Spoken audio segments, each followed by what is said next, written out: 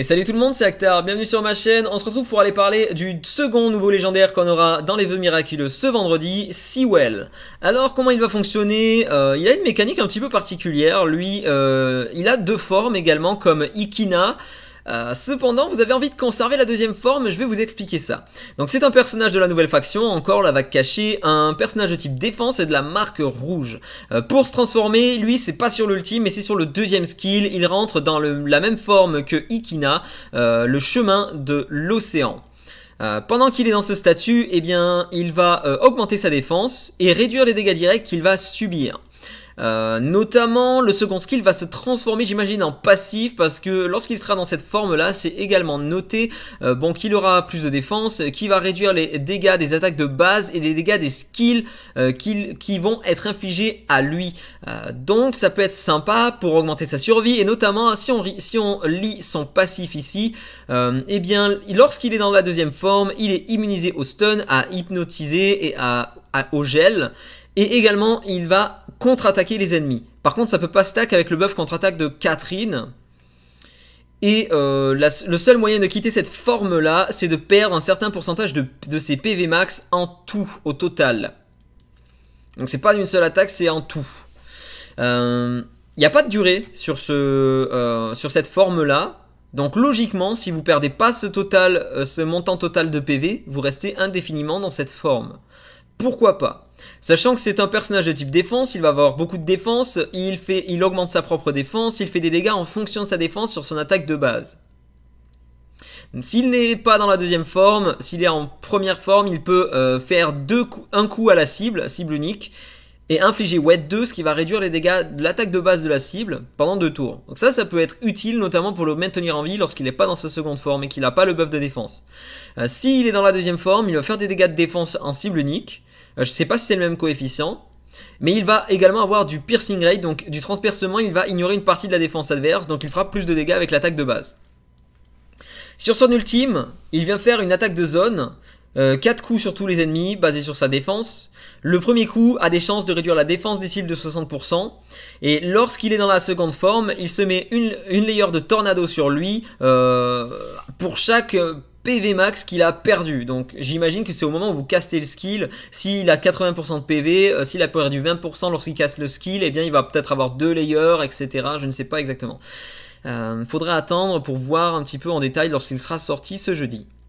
Euh, chaque layer de tornado va augmenter les dégâts faits par ce skill là et à chaque fois qu'il va utiliser ce skill il va perdre sa forme, euh, sa deuxième forme et il va consumer toutes les layers de tornado. Euh, donc il faut faire attention.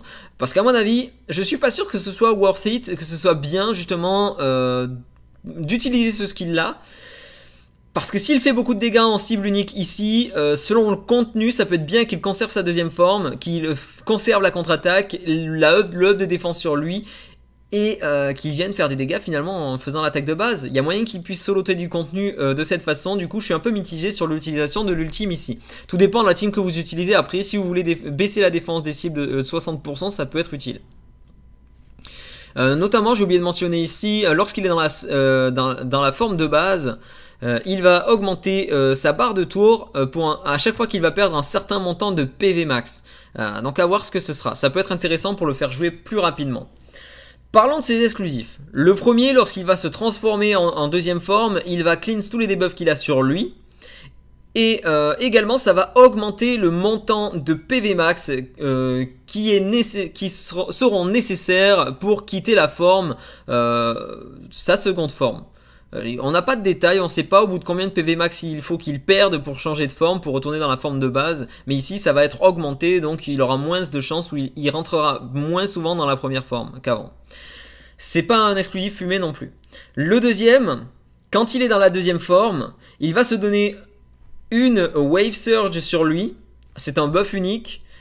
À chaque fois qu'il va cast l'attaque de base, donc ici ça fonctionne uniquement lorsqu'il est dans la deuxième forme. S'il a deux layers ou plus de ce buff, quand il va cast l'attaque de base et qu'il est dans la deuxième forme, il va consumer toutes ces layers là et augmenter les dégâts qu'il va faire avec l'attaque de base. Et également ça va augmenter euh, euh, le transpercement euh, de l'attaque de base. Et ces trucs-là, là, Wave Surge, ces buffs uniques ne peuvent pas être retirés à la transition de vague. Excusez-moi, j'ai encore j'ai l'habitude de faire des doubles clics et ça réduit tout. Donc celui-là est plutôt intéressant mais pas fumé non plus. Le troisième exclusif ici, quand il rentre, quand il est dans la forme, la deuxième forme, Way of Ocean, euh, il va se donner une layer de torrent, c'est ce qu'il utilise ici lorsqu'il caste... Euh, mm, mm, mm, quand il rentre dans la, dans la forme et qu'il perd un certain montant de PV, il gagne Torrent qui augmente les dégâts de son attaque ultime. Ici, euh, quand il est dans la deuxième forme et qu'il a l'exclusif 3, donc à chaque fois, à chaque fois qu'il va prendre un tour, il va se mettre un layer de Torrent sur lui.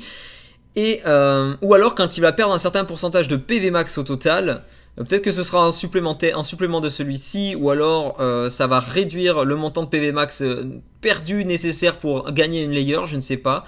Et chaque torrent qu'il va avoir va augmenter les dégâts de son attaque de base jusqu'à 20 layers et ces layers peuvent pas être retirés quand il meurt ou à transition de vague. Cependant, conservez bien à l'esprit que si jamais vous avez des tornados sur vous, vous utilisez l'ultime, ça va tout consumer et donc et donc vous les perdrez et vous bénéficierez plus de l'attaque de base. Donc en gros ce personnage là, si je comprends bien, il faut jamais utiliser l'ultime, faut le conserver en deuxième, euh, en deuxième forme le plus longtemps possible pour qu'il bénéficie euh, du buff de défense, réduction des dégâts sur lui, euh, du, de ces buffs là, Torrent s'il a l'exclusif 3, et faire davantage de dégâts finalement en utilisant l'attaque de base et notamment sa contre-attaque. Du coup, je sais pas, euh, par rapport à l'autre personnage, je le vois un peu moins fort celui-ci, il faudra voir, faudra aller le tester. Dites-moi ce que vous en pensez en commentaire, si jamais vous avez apprécié la vidéo, euh, n'hésitez pas à liker, commenter et à vous abonner. Et sur ce, je vous dis à la prochaine, allez, salut Infinite Magic Raid, play to slay.